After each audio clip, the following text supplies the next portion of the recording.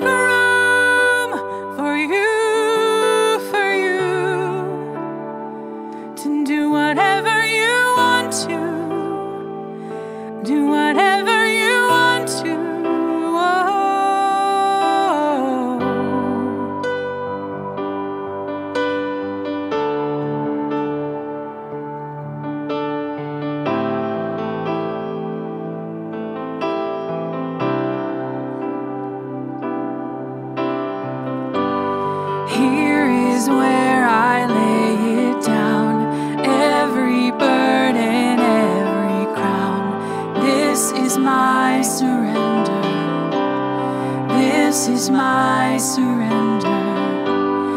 Here is where I lay it down, every lie and every doubt. This is my surrender.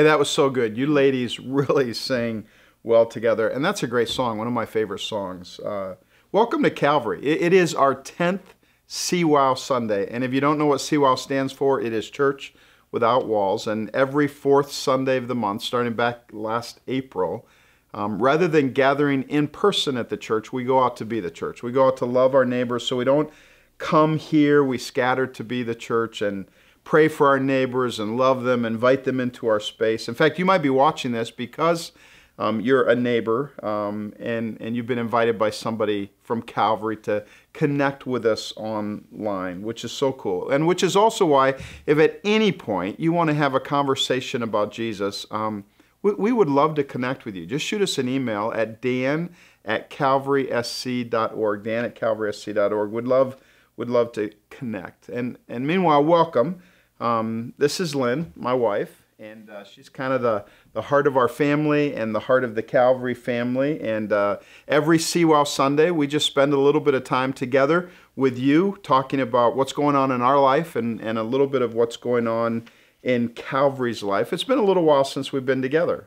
So, Well, not us together. yeah, well, it's been a little while since we've been together, but not as long as it's been since we've done a CWOW Sunday. We didn't do the one in December, so it's actually been November. So catch us up a little bit on what's been going on for us. Well, first, I'm curious when you say I'm the heart of the family, does that mean you're the brains of the family? Well, Does that? that, that almost goes without saying. I asked. Yeah. you want me to be the heart and you be the brains? We can do well. that. That wouldn't work well. Um, well, since we last met, we would have had Christmas Christmas Eve, yep. Christmas Eve at Calvary. That was and Awesome. Christmas. Christmas Eve at Calvary and Christmas, Yeah. our family. Um, we did not have. We only had one of our kids home for this Christmas. Next Christmas, we'll have them all. they all went to the in-laws. Yep. We did Christmas with my side of the family who live in Pennsylvania. Right. And um, then Dan and Sarah and I did a trip to warm weather. We went to Orlando, which was awesome. So I, I think we have a picture of that. Yeah. And I don't know, what else have we done? I think that's, I, I about almost won the lottery. no, that was fake. that was fake. Listen to SGGN if you want more details of that one. Well, uh, just a little bit. I'll, I'll share. We we did a. They call it Norwegian Norwegian gift exchange in Lynn's family, and and so it's one of those. You know, somebody opens up, somebody elephant, else can sit, steal Norwegian it. Yeah, because they're Norwegians, and and uh, so so Lynn's brother Jimmy got this gift, and it was.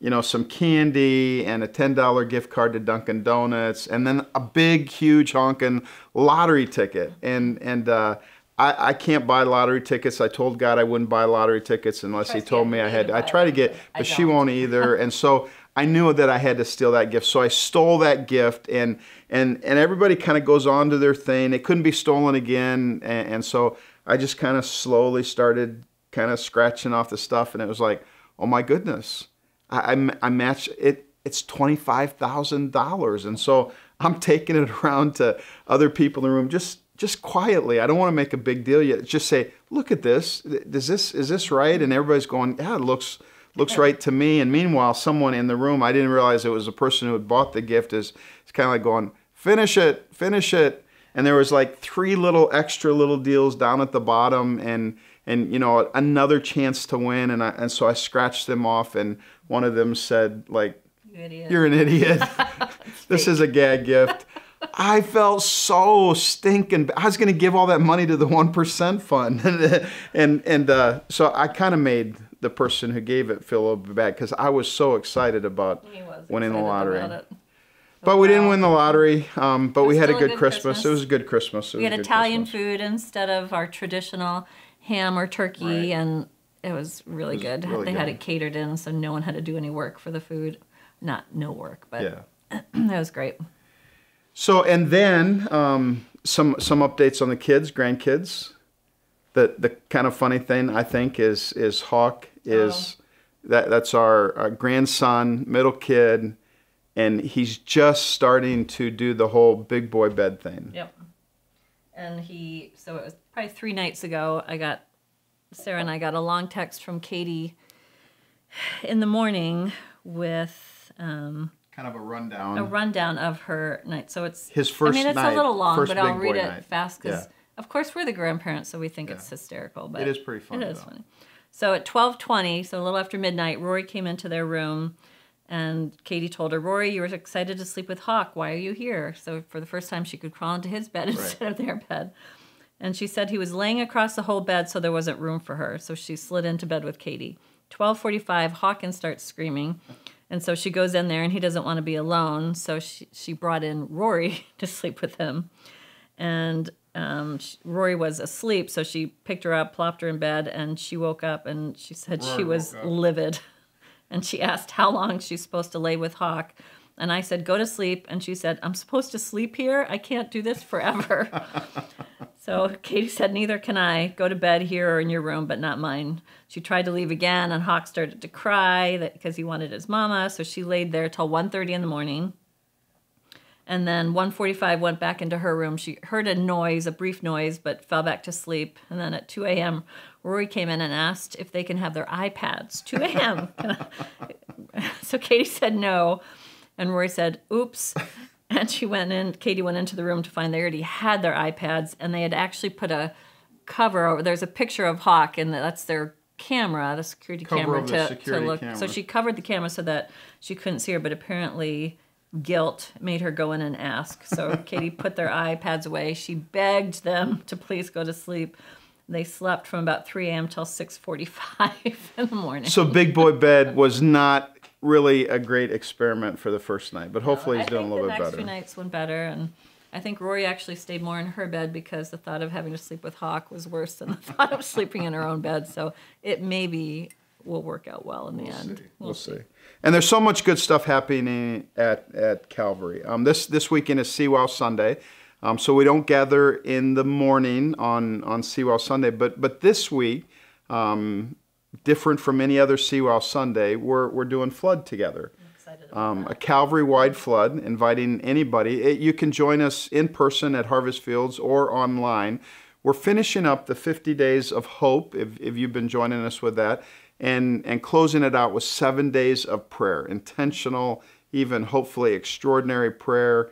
Um, our focus for CWOW Sunday is praying for our neighbors, and then we're going to gather together that evening at 6 o'clock.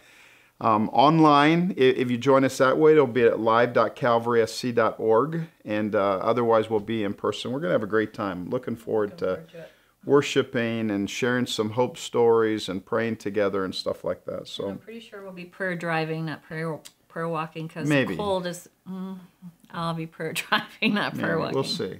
No, I won't see. I already know. We'll see. That's been We'll, decided. we'll let you know whether we prayer walked or prayer drove. And uh, let you know what he did. Stop. I'm telling you, I'm prayer driving. And another great thing that has happened at Calvary, give you a little bit of an update on, is our 1% offering. Talked about that a lot during the, the course of December. And honestly, to be honest, coming um, to the end of December, I was a little bit discouraged. Thought we weren't going to make our goal. Our goal was $240,000. And uh, um, we, we ended up, we're, we're pretty close to $260,000 right now, which is really amazing. Last year was our high point in one, the 1% offering, but that was in part because we had a, a last minute $75,000 matching gift, which really bumped us up. But but 260,000 this year is is so good, and and it's going to go to help so many different people. Um, common food, helping to feed people in in the area. Um, it we'll, we'll use it. We'll be able to do one of those food packing things um, this year, um, aiming for about 240,000 meals this time.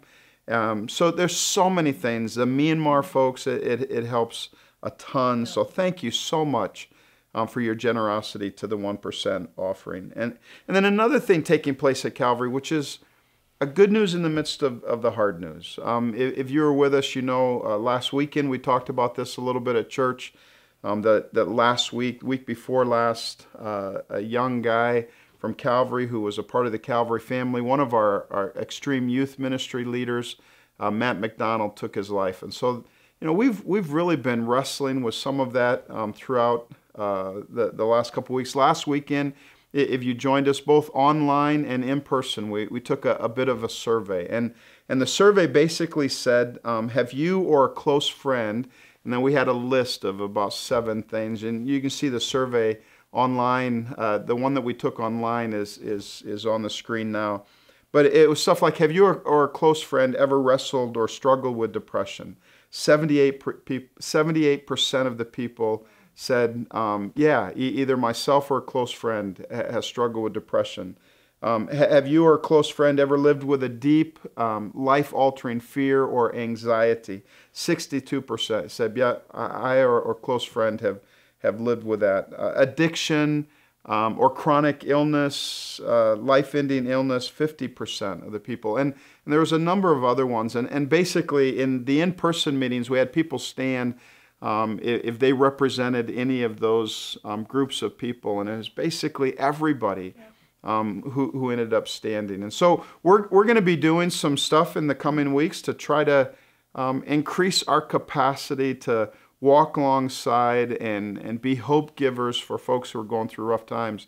So be watching for that. One of the first things we'll, we'll do will be an assessment um, a, a, survey just to get a sense of not, not so much what are people going through, but how are we doing as a church in being a place that welcomes and serves and loves folks who are really walking through hard times.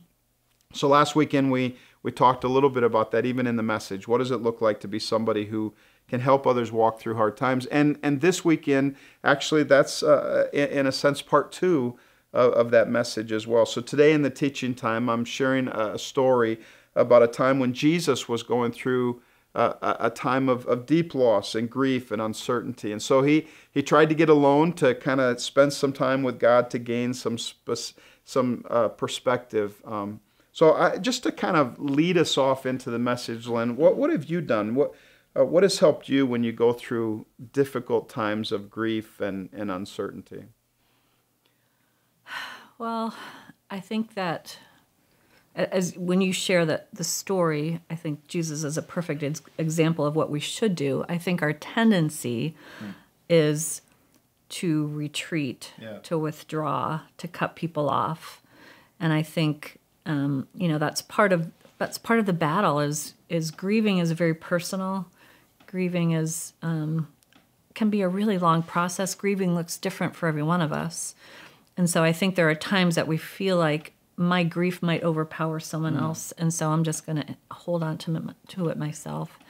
And over and over, we, we find that when we re-engage and yeah. even focus on other people, look at for me, it's looking for beauty, even yeah. in the midst of of loss. You know, the most horrific trauma grieving I think that ever took place in history was Jesus' death on the cross. Yeah. And yet we can look and see the beauty that came from that story that came from that truth, that reality of what Jesus did for us. And so, you know, I think there there always is that needed period of pulling back for a little bit, even just to get perspective, to catch yeah, our own yeah. breath and and look at at life. But if we don't re-engage at some point and look for the beauty, and and I with think people and with, with God. people and with God, and I think that um, looking for the beauty ourselves when we're going through grief or trauma. Mm is really hard. Uh, we we need that perspective of community, and we need to be vulnerable. We need to not buy into the narrative that my grief is going to be too hard. It's not like other people have to bear our grief, but right. to walk with someone through it is a beautiful thing. And and you know, again, that's part of community. It's not one person where the burden's on one person, but together we're carrying each other through difficult times and and looking for those places when we can see look ahead and see beauty that mm. gives us hope yeah. if we can't see any beauty in the story coming up then i think it causes us to lose hope and yeah. god's created us to desire and look for beauty Um, so, I, you know, I, I can't say that I've gone through it. I've not gone through a, a death of a family member at this point, except for our niece many years ago. But I think all of us are going through a season of grief just with COVID and the ways that that's And changed and, uncertainty. impacted our world, and, Yeah. and we all respond to that differently. Um, and and it's caused this force isolate, isolation for some. I think the more that we can break through that and grab onto community, the healthier we can walk through it. It's good. It's good. We're going to look at, at a story of a young boy um, who found community and, and I think even found some beauty in the midst of, uh, of the hardship. So, Lynn, why don't you pray for us as we go into the message time? Father, thank you that you are a good father all the time. You are good and you understand our grief, you understand our trauma, you understand the ways that the enemy tries to use that against us, the ways the enemy would try to keep us isolated and alone. And yet, you've created us for beauty. You've created us for beauty in our relationship with you and for beauty in our relationship with others. And so, God, for every person out there that's hearing this that feels this deep sense of trauma or grief and they're walking through it in isolation, God, I pray that they would reach out and find community, that you would be their community in the moment, but that you would also put community with flesh on. Um, people that can just come around them and, and love them and, and walk with them through it. We pray for, for those who, just even recently, the McDonald family and others who have suffered tremendous loss and grief. And God, it's a beautiful thing to watch community come around people um, who are dealing with that. And so I, I thank you. You see each one. Um, you can bring so much fullness. You can multiply so much more our healing um, when we do it together with you and um, with community. Um, so thank you, Lord, for all the ways that you are at work, for all the beauty that you bring into um, each one of our lives. And we love you. In Jesus' name, amen. Amen. Amen.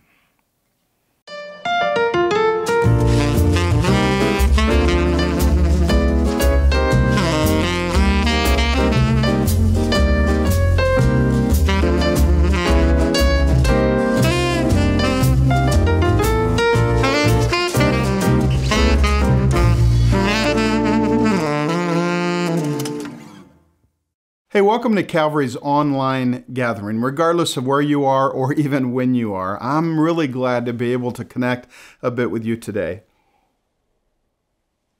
And can I just say off the bat, you matter to God. Jesus loves you more than you know. The Spirit of God is hovering over the chaos of your life, working above and beyond you in ways that you can't even see. And whether you find yourself right now in the updraft of a great season or you are so weary of a hard and seemingly hopeless time, I'm telling you the best is yet to come. Because there's more of Jesus for you. There's more than enough Jesus for every hunger of your heart and every hope of your life. He is more than enough. And, and I'm praying that in the next few moments, you'll have a sense of His hope multiplying in your heart. I love this story. John Bechtel lived in Hong Kong, a city where as many as 5,000 people might live in a single high rise building on one acre of land. And, and so many of the people there lived with a daily deficit of hope. Along with a handful of other people, John began to get this hope cramp for the kids who lived in these high rise concrete villages. And slowly, this vision began to form. They, they wanted to develop a camp where ki- kids could get out into nature and, and meet God. They, they found out that there was a company that had built a facility for a million dollars, and the company said they would sell this facility to John Bechtel and his group for $250,000. What an amazing deal. One of, one of John's friends, colleagues said, You know, I'll try to do some fundraising on the side. And for months he worked at it, but he got nothing. Either no one caught the vision, or if they caught it, they didn't have any money to give. In three months of fundraising, he received one letter. That one letter was from a little girl in Georgia named Melinda Holmes.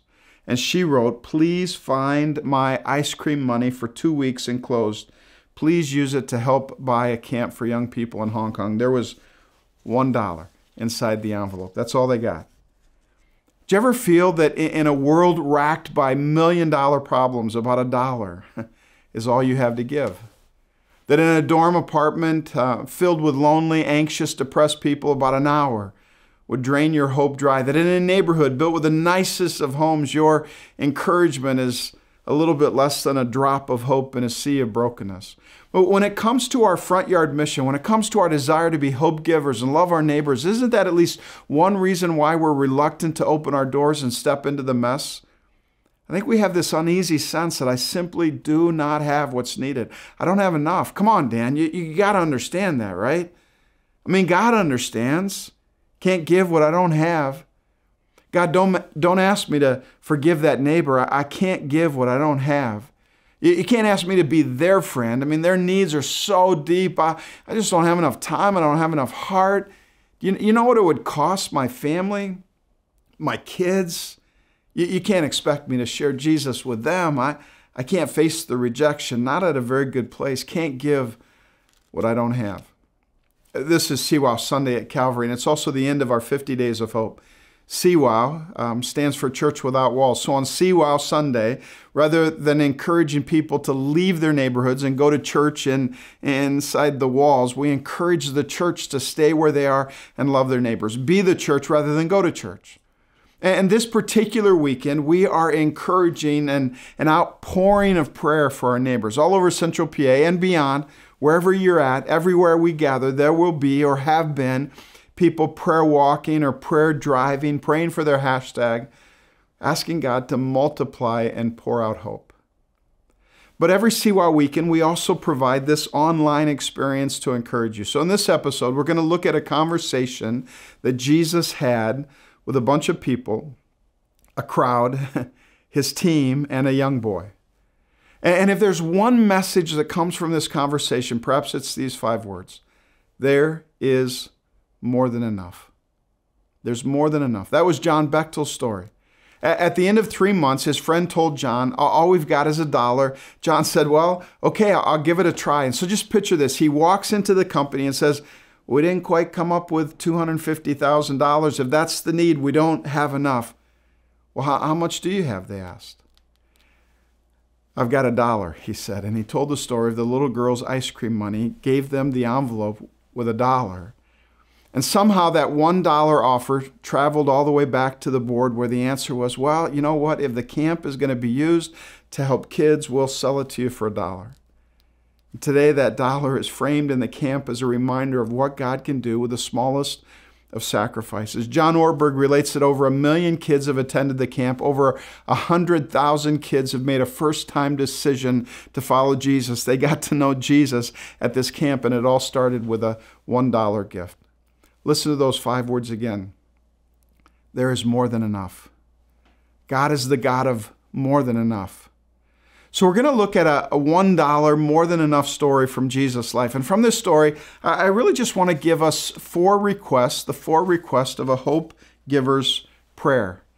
Now, this story is the only one of Jesus' miracles to make it into all four of the Gospel accounts. And, and by the time we get to the end of the story, I will suggest to you that as you go on a mission to be hope givers, that our God is more than enough.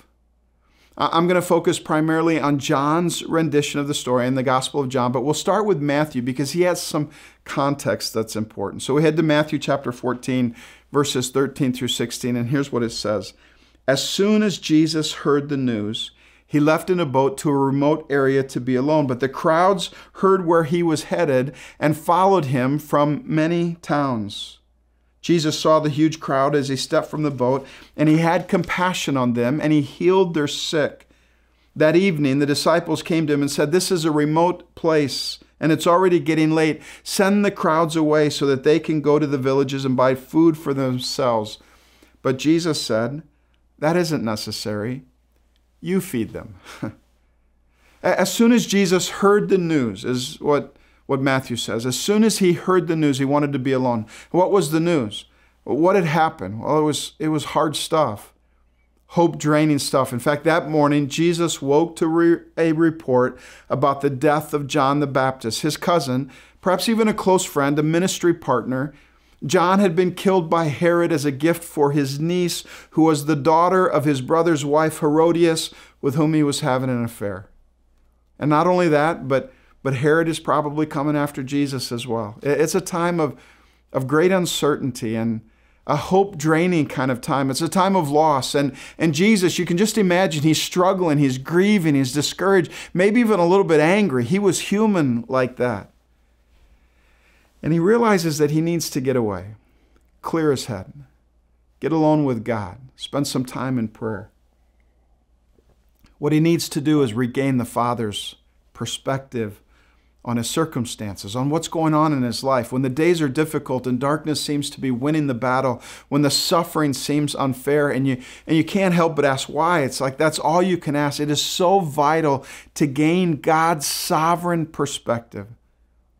I don't know what you're going through right now, but I do know that our circumstances will drain hope from our hearts if we can't get God's perspective. Uh, and life is, is not nearly so uncertain from God's perspective because he's, he's more than enough. Jesus was trying to get alone with God, but the crowd couldn't leave him alone. And honestly, I don't think it's all that different today. We can work our systems and systematize our programs. We can give you all the tools we can find to love your neighbors and, and resource your block party. But if Jesus shows up, you can't keep the people away. When you read through the Gospels, it seems like Jesus always drew a crowd. And I don't know, I just wonder perhaps the main reason crowds today are skeptical about the church isn't because of our voting record or, or our doctrine or our stands on social justice issues. Perhaps, I don't know, perhaps they just aren't sure we know where to find Jesus. Jesus got out of the boat, he saw the crowd, and he had compassion on them. In fact, the translation, he had compassion, is actually a little bit weak. Like, just imagine Jesus pulling into his driveway, having compassion on his neighbor, but still using the remote so that he can pull into the garage without ever having to see the need. Because I can have compassion on someone without doing something for them, right?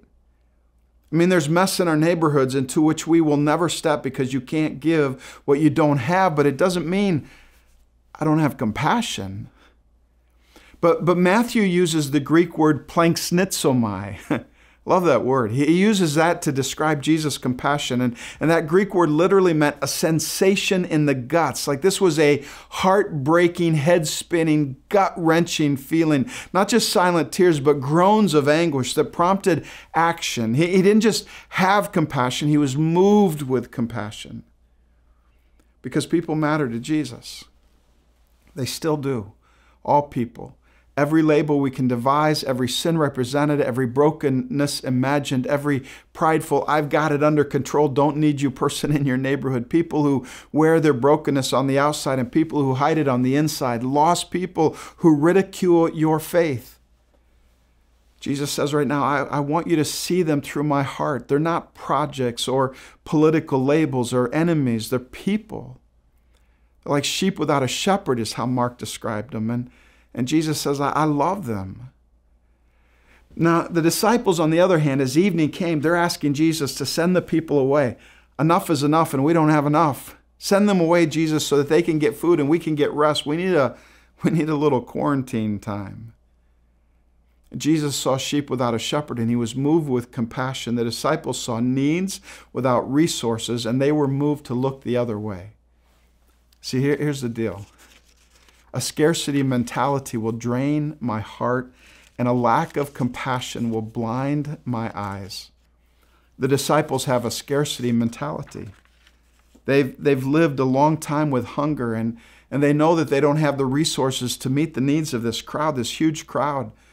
And when I don't think I have enough to meet the needs that I'll see, if I look, then my tendency is to just look away. Which brings me to our first hope giver prayer request God, would you give me a compassion that moves me? Would you give me a compassion that moves me? Give me a heart that won't let me look away. Just like Jesus. He, he could have he could have just said, Father, I can't give them what I don't have. I'm I'm hurting, Father God. You, you know what happened to John. I, I just not, not now, God, maybe later. I just don't have enough in me right now. But instead, Jesus realized that God has more than enough. We'll see it again in John's rendition of the story, starting in John chapter 6, verses 5 through 7. Here's what it says Jesus soon saw a huge crowd of people coming to look for him, and turning to Philip, he asked, Where can we buy bread to feed all these people? says he was testing Philip, for he already knew what he was going to do. And Philip replied, Even if we worked for months, we wouldn't have enough money to feed them. Literally, Philip said, It will take 200 denarii, Jesus. And, and a denarius was about a day's wages for a common laborer. It'll, it'll take seven months' wages, Jesus. In other words, Jesus, if you want me to make a difference in the world, I need more. I don't have enough. I need more time. I need more money, more friends, more strength, more resources. I've seen what you've given to others, Jesus. I, I need what they have. Sure, they can make a difference in the world, but that's because you made them special. You gave them stuff. And, and if you want me to make a difference, I just, I need more than I have. It's too much. I can't do it. I don't have enough. I just ask you, how often has that been our response? We, we look around and, and we compare the size of the need to the capacity of our size. And we're thinking, God, you want me to do this? I don't have enough. John tells us that Jesus was testing Philip because he already knew what he was going to do. But first, a test a test of faith. Jesus is testing Philip's trust in God's capacity. Bobby Clinton did a, a, whole bunch of studies on, on leadership. And in a study of thousands of biblical, historical, and contemporary leaders, he, he suggested that this is a test, this faith test is a test that we often face when we start to come out of a time of transition. You've heard me say that this season that we've been in is, is not a temporary interruption in our story, it's a transitional disruption. It's like the white pages between the chapters of our story. And Clinton says that often when we come out of a transition, before the next chapter starts, God will test our faith. Jesus is testing Philip's faith. Philip, where can we get enough bread for the crowd? Jesus, it would take a small fortune. We don't have enough. See, Jesus is taking from an, is asking Philip this question from an attitude of abundance, but, but Phil is answering with a mentality of scarcity. And I wonder how often we miss Christ's invitation to join him in a miracle because, because we think he's leaving the solution up to us. So we count our coins and we strategize our plans and we work up our, our, gumption only to realize, yeah, we can't do that. Don't have enough, can't give what we don't have. Jesus is looking for a yes, and all we have is a yeah, but. You know, I think Jesus was hoping Philip might say something like, Well, let's see, Jesus. I watched you turn six pots of water into 768 bottles of fine wine. I was there when you healed that guy's son with just a word, long distance. And, and then there was that guy at the pool, crippled for decades. He didn't know you were you, but you, you healed him and he walked. So, so let's see, Jesus, where are we going to get bread? I don't know. You tell me. Jesus, just tell me what you want me to do. I'm pretty sure you got this. I just don't want to miss it. And even today, right now, God is looking for people who believe that Jesus is more than enough for every person who comes our way with a need that we cannot meet.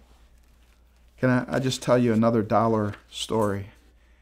When Toby was in high school, he wrote an essay on world hunger, and, and he ended up winning a two week trip study tour to Africa through World Vision. When he was there, Toby was struck by the beauty and the poverty of Ethiopia. But if you were to talk to him shortly after he stepped off the plane on home ground, you would have found that one picture dominated his mind and heart. One, one day at a World Vision distribution camp in Ethiopia, he was handing out food and supplies and, and playing with some of the kids. And, and as Toby and the others were getting ready to leave, this 11 year old boy tapped him on the shoulder. He was staring at Toby's t shirt.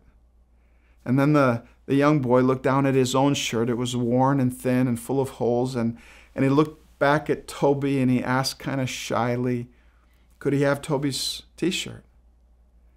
Toby wasn't prepared for that request. His luggage was a day away, and, and fair skin minus t shirt plus African sun was not a good equation. He didn't have very much time to think about it. The bus was leaving. He shrugged his shoulder, shook his head no, and, and he stepped on the bus. But from that moment on, Toby could not get that picture out of his mind. And added to the picture was hearing Jesus' word, and whatever you do to the least of these, my brothers, you, you do to me, you do for me. Back home in Michigan, it was even worse when he counted how many t shirts he had hanging in his closet and stuffed in his dressers. He had to do something. And so he started a t shirt drive called Give the Shirt Off Your Back. He went door to door collecting t shirts. He persuaded local 7 Elevens to put out collection bins. Local media picked up the story, and pretty soon it seemed like everyone in Michigan had heard about Toby's campaign. In a few months, he collected over 10,000 t shirts. Now, how does a high school student get 10,000 t shirts to Ethiopia? He called one relief agency after another, same answer over and over and over again. Sorry, can't help, too expensive. He called UPS. Sure, they could do it for $65,000. Finally, someone connected him with an organization called Supporters of Sub Sahara Africa. And they just happened to be taking a shipment of supplies to Africa, and they were willing to take Toby's t shirts along for the ride just one hitch, one condition. They could only take them to one African country, Ethiopia. I mean, can you hear those five words again? More than enough. He's got more than enough. He'll give more than enough. He, he's a God of more than enough. He can do more than enough. So, so that's our second hope giver prayer request. Along with compassion that moves me, God, give me more capacity for faith Give me faith in your more than enough. I, I, need more than enough faith. We, we see it again in John chapter 6, verses 8 through 11. Then Andrew, it says, Simon Peter's brother, spoke up and said, There's a, a young boy here with five barley loaves and two fish. But what good is that with this huge crowd? Tell everyone to sit down, Jesus said. So they all sat down on the grassy slopes. The men alone numbered about 5,000. Then Jesus took the loaves and he gave thanks to God and he distributed them to the people. And afterwards he did the same with the fish, and they all ate as much as they wanted. Now, if you want to be a hope giver, keep your eyes on Jesus. He's the model, he's the example. But every once in a while, someone else comes close. And we catch a glimpse because God is always at work shaping our hearts to be more like the heart of Jesus. And, and so every once in a while, we, we catch a glimpse of Jesus in the heart of somebody around us. And in this case, that glimpse comes in the heart of a young boy with five barley loaves and two fish. We, we don't know much about him. But, but let me make a, a couple of guesses from the context. Barley was the bread of the poor, it's cheap grain. This is a poor community, all surrounding this. The farmers are taxed heavily. Their land is frequently lost to the rich. This is not just a young boy, he's a young boy living in the margins of life. The, the word for fish indicates that it was probably more like a sardine than a freshwater trout. And this is probably all he's got. In fact, if he doesn't bring this home, his family probably goes hungry. When they ask him for his food, he, he doesn't know what Jesus is going to do. All he knows is that he's being asked to give all that he has so that somebody else can eat. He's being asked to surrender his stuff for someone else's need. He has no idea. You understand? This kid has no idea that, that he's on the verge of being part of a miracle that'll be told for thousands of years to billions of people. No idea that Jesus is going to take his poor boy sandwich and, and turn it into a feast for thousands. In fact, in the moment, think about this. When he's asked, faith probably feels more like an unfair burden than an invitation to a miracle. Seems more like a, a risk than a reward. You understand? Sometimes, maybe often, giving the hope of Jesus requires the risk of faith, which often resembles surrender. And so here's the, the hope giver prayer request God, would you give me courage to live with open hands? You know, Jesus never asks us to give what we don't have. He asks us to exercise the faith that gives what we have, knowing, even knowing that it's not enough. He asks us to trust His ability to produce more than enough. Look at verses 12 through 14. It says, After everyone was full, Jesus told his disciples, Now gather up the leftovers so that nothing is wasted. So they picked up the pieces and they filled 12 baskets with scraps left by the people who had eaten from the five barley loaves. When the people saw him do this miraculous sign, they exclaimed, Surely this is the prophet we've been expecting. Everyone was full. 5,000 men, counting women and children, was likely a crowd to fill the Bryce Jordan Center. Not, not just a taste to whet the appetite, they, they, they were full with, with 12 baskets of leftovers. Yeah, most of us have heard of Michael Jordan, one of the all-time great NBA players, but but few of us have probably ever heard of Jack Haley. In the championship run of 1996, Jack was was on the team. He was basically Dennis Rodman's babysitter. He, he played in one game that year. It was an easy victory for the Bulls. When Haley came in, the Bulls were leading by 30 points, and Michael Jordan had already scored 50 points. In the game while he was in, Jack scored one point. Later in an interview, Haley said, I can't wait for the day. One day I will be able to tell my grandchildren about the day that Michael Jordan and I scored 51 points together. A crowd of 15,000 plus people were fed that day. I used to wonder what happened to the leftovers 12 baskets full. I used to think, man, I hope they marched those baskets to the home of that kid who took the risk of faith to live with open hands. But you know what? Maybe it doesn't matter who got the leftovers. Because that day wasn't about food. And, and for the rest of his life, this young man would be able to talk about the day that together he and Jesus fed a crowd. And, and then I thought, and as the years went by, I hope that young man would come to realize that in the end, the best part wasn't even the adventure of feeding a crowd with Jesus. The best part was Jesus. That, that that was the day that he met Jesus, that that was the day when he found the bread of life that would satisfy the deepest hungers of his heart, because in the end, Jesus is the heart of hope. The, the next day, that same crowd returned. They came looking for Jesus. Big surprise, huh? Like, hey, Jesus, what's for breakfast? And Jesus told them in John chapter 6, verses 26 through 27, he said, you, you've, you've come looking for me not because you saw God in my actions, but because I fed you, I filled your stomachs, and for free. Don't waste your energy striving for perishable food like that. Instead, work for the food that sticks with you, food that nourishes your lasting life, food that the Son of Man provides. And then a, a, little bit later in verse 47, he says, I'm telling you the most solemn and sober truth now. Whoever believes in me has real life, eternal life. I am the bread of life. Man, such a bold claim. Arrogant if it's not true. In the end, we're all hungry. We just don't know what will satisfy our hunger. And Jesus says, It's me. And I'm more than enough. Jesus is more than enough. To every college student at the party, to every man or woman sprinting into the destruction of a midlife crisis, to those who have climbed the ranks of life and found nothing to satisfy your soul at the top of that mountain. To those who want to make a difference in their neighborhood, but you just don't believe that you have what it takes. Listen to me Jesus is more than enough.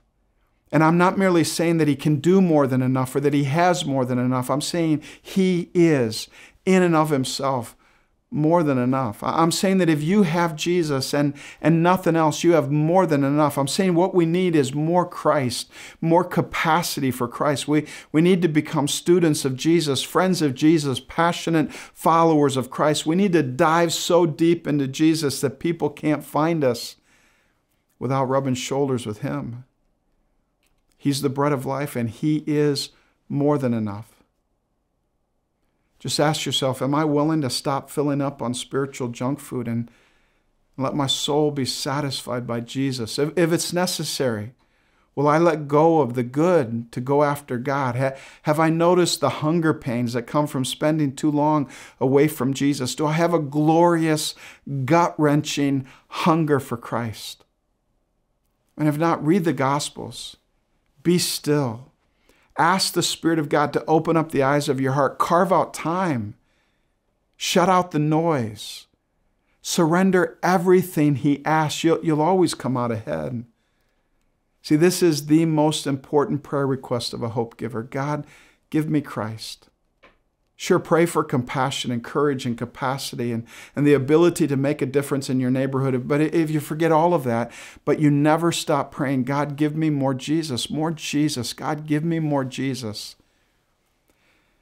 you're going to find that He is more than enough. Would you pray with me? Jesus, I, I pray that right now in, in, in cars and, and homes and and places all over. by your Spirit, would you just awaken in us a deeper hunger for Jesus? Would you show us the, the junk food that we're feeding on? And would you give us the courage to live with open hands, to surrender what, whatever you ask? God, not just for the, the, the opportunity, the adventure, the invitation to do something great with Jesus, but to find someone great in Jesus. God, deepen the hunger of our hearts. I, I pray that you would give us more Jesus. I, I pray that, that the church would be saturated with Jesus, that people wouldn't be able to, to, to get to know us without coming face to face with Jesus. Jesus, thank you for your deep desire to be known by us, to be treasured by us, to, to be in us, and for us to be in you. We ask that you would, you would help us to stop at nothing until we have more of you. In Jesus' name we pray. Amen. Uh, listen to this song Be still, my soul, the Lord is on your side. And then come back and we'll close.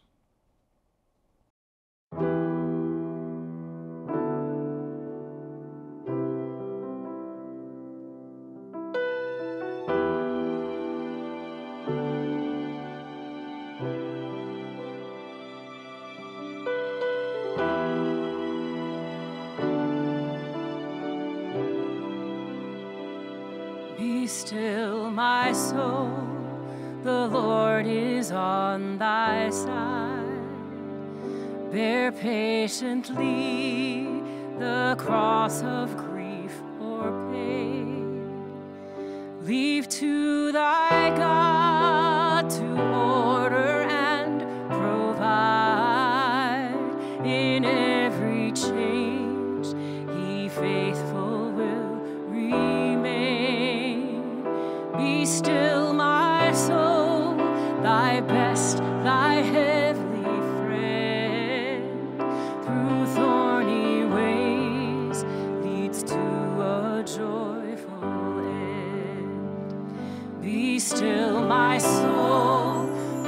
God doth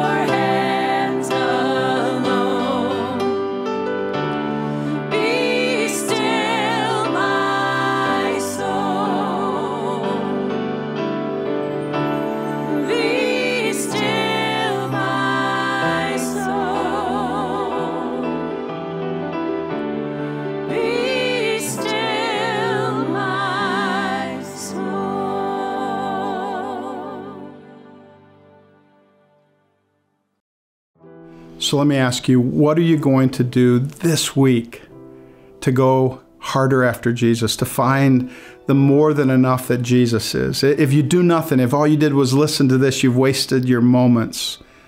But if you do something, be still. Read the scripture. Ask the Spirit of God to, to make Jesus come alive in your life. And I'm telling you, you will find that Jesus is more than enough. Len, would you close us in prayer? Heavenly Father, I thank you that even as the song said, you are on our side. Mm. Forgive us for the times that we we spin this narrative in our minds that you're against us. Yeah.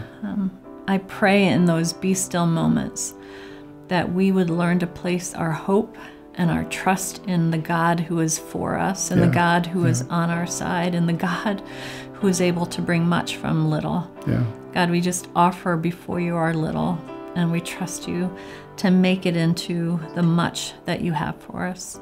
So, Lord, would you just breathe in hope, breathe in mm-hmm. your truth, breathe in the, the reality that you're always with us, that you're always on our side, Yes, that you are a God who loves without limits. We pray these things in Jesus' name. Amen. Amen. Thanks for joining us this week. We'll see you next week.